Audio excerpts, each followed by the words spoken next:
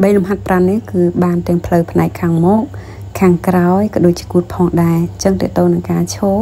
បើសិនបងប្អូនចង់ឈរនៅលើផ្ទៃរាបស្មើក៏បានដែរដោយតែមិនបាច់ចាំបាច់ទៅឈរលើនឹងអញ្ចឹងណាបងប្អូនតែអ្វីដែលសំខាន់គឺមានលំនឹង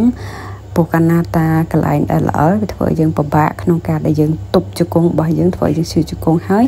ការហាត់របស់យើងគឺអត់បានចូលល្អទៀតអញ្ចឹងណាបងប្អូនអញ្ចឹងទម្រង់នៃការឈររបស់យើងទាំង3គឺដូចគ្នា ធំជាងស្មាហើយចុងជើងគឺញែកចេញ45ដឺក្រេដូចគ្នាអញ្ចឹងចូលក្បាច់ទី1ទាំងអស់គ្នា គឺនៅពេលដែលយើងស្វត់ចុះគឺ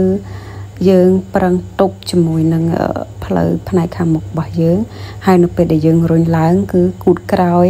ហើយនឹងផ្លូវក្រោយជាអ្នករុញឡើងអញ្ចឹងបងប្អូនអញ្ចឹងគឺវាចុកខ្លាំងមែនទែនបងប្អូនអញ្ចឹងចំនួនដងនៃការធ្វើបងប្អូនធ្វើវាពី15ទៅ20ដងឡើងទៅឬអាចលើសនេះក៏បានចំពោះទម្ងន់នៃដុំដៃគឺតាមលទ្ធភាពដែលអាចធ្វើទៅបានអញ្ចឹងណាស្រាប់ដុំដៃដែលខ្ញុំកំពុងតែកាន់នេះគឺ8គីឡូចំពោះលំហាត់ទី2នេះគឺបងប្អូន នៅពេលដែលយើង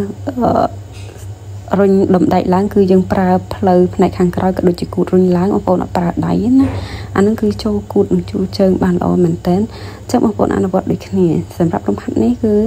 ចុះទៀតជាងលំហាត់មុនតែចំពោះទំហំនៃការចូលគឺចុកចុកដូចគ្នាអញ្ចឹង3លំហាត់ប្រាណនេះសម្រាប់បងប្អូនដែលចង់បានសម្រកផ្លូវ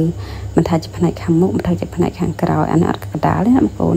ហើយក៏ដូចជាគូតផងដែរចាំបងប្អូនអាចសាកល្បងទាំង3ក្បាច់នេះគឺចូលខ្លាំងល្អមែនតែនតែម្ដងអញ្ចឹងណាបងប្អូនចាអរគុណច្រើនបងប្អូនហើយបើសិនជាបងប្អូនមានចំណុចថែមអាចខមមិនក្រោមវីដេអូនេះហើយបើសិនជាបងប្អូនចង់បានលេខកាពីកម្ដៅថ្ងៃដែលល្អបងប្អូនអាចកំងបានតម្លៃសមរម្យអរគុណ